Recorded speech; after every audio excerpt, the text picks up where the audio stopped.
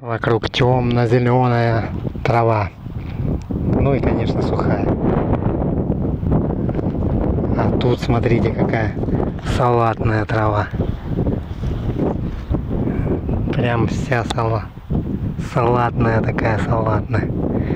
Светло-зеленая. Хотя там есть тоже чуть-чуть зелененькая, но это прям вообще выделяется. На море дожди, а у нас ветерок.